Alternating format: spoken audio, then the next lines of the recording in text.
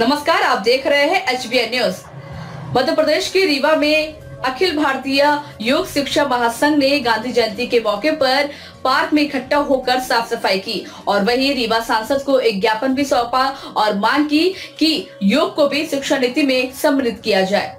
अखिल भारतीय योग शिक्षा महासंघ गांधी जयंती पर विवेकानंद पार्क पर इकट्ठे होकर वहाँ साफ़ सफ़ाई की और उसके पश्चात रीवा सांसद जनार्दन मिश्रा को ज्ञापन सौंपा और मांग की गई कि योग को भी शिक्षा नीति में सम्मिलित किया जाए। योग भारतीय संस्कृति का एक अभिन्न अंग है। अपितु विज्ञान का सबसे उत्तम विषय है, जो न केवल शारीरिक बल्कि मानसिक, सामाजिक और आध्यात्मिक स्तर भी कार्य करता है। जिसकी चर्चा वेद, उपनिषद, रामायण, महाभारत व अन्य समस्त पवित्र ग्रंथों में है। योग अपने शक्तियों से वैज्ञानिक तरीकों से परिचित कराता है। जिसे समझते हुए सन 2014 में प्रधानमंत्री नरेंद्र मोदी के सकारात्मक प्रयासों द्वारा संयुक्त राष्ट्र की आम सभा में महज 90 दिन के अंदर 170 देशों द्वारा मंजूरी मिल गई थी। इसी विकास क्रम को देखते हुए भारत के प्रत्येक विद्यालयों में भी योग शिक्षा पर बल देने का प्रयास किया जा रहा है। बाल्यकाल विशेषकर विद्यार्थी जीवन में बच्चों का मन कच्ची मिट्टी की तरह होता है, जिसे सुगमता के साथ कोई भी आकार दिया जा सकता है। वर्तमान काल में ये अत्यंत महत्वपूर्ण है कि विद्यार्थी के शारीरिक शारीरिक स्वास्थ्य के साथ उसके प्राणिक मानसिक बौद्धिक और आध्यात्मिक विकास पर ध्यान दिया जाए। बालक का ठीक स्वर्गिक विकास हो तो वो आगे चलकर ऐसा सबल निरोगी और प्रबुद्ध युवा बनेगा जो जीवन की सभी चुनौतियों और कठिनाइयों का सामना कुशलता पूर्वक करने में सक्षम होगा। Bureau report HBN news. आज आप लोग विवेकानंद पार्क पे क्या मैं प्रदीप कुमार मिश्रा अखिल भारतीय योग शिक्षक संघ रीवा का प्रभारी हूँ। हम लोग आज इकट्ठा हुए हैं, जो हमारा विषय है, नई शिक्षा नीति में योग का है।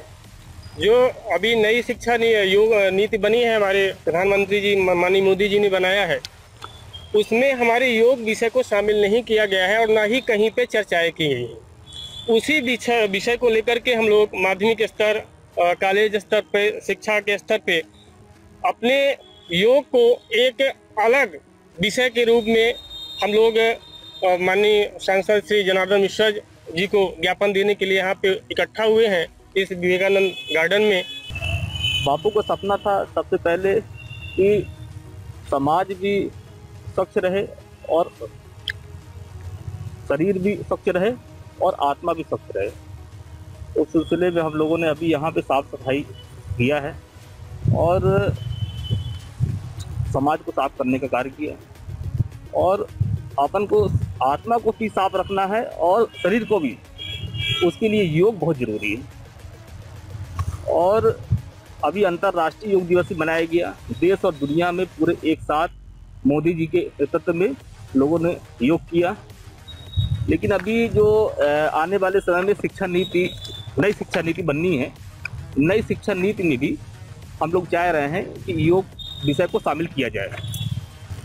जी जैसा कि हम लोग जानते हैं कि योग हमारे स्वास्थ्य के लिए कितना लाभकारी है और हम उसको प्राथमिकता नहीं दे रहे हैं। जो नई शिक्षा नीति बनी है, उसमें भी योग का कहीं ज़िक्र नहीं किया गया है, जबकि माननीय प्रधानमंत्री मोदी जी ने 2015 में विश्व योग दिवस मनाया और सबको योग के लिए प्रेरित किया गया, पर उन्होंने ही नई शिक्षा नीति में योग का कोई ज़िक्र नहीं किया।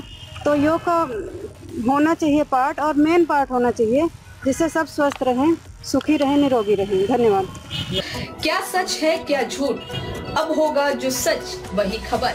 हमसे जुड़े रहने के लिए हमारे चैनल को सब्सक्राइब करना ना भूले और देखते रहे एच न्यूज़